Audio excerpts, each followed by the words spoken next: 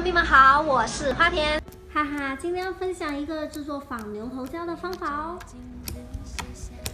胶感非常好哦，你想做多大就放多少透明胶水，加入护发素还有护手霜，护手霜不是 Hello Kitty 的也是 OK 的哦。另外拿一个小容器倒入两勺的玉米淀粉，加一点水融化它，然后把它倒入刚调好的胶水里，看起来有点像牛奶。召唤出我们的隐形眼镜护理液，还有小苏打，遵从少量多次的原则添加。好了，无硼砂泥成型之后非常柔软，那有请我们的芭比公主来帮我们试一下啦。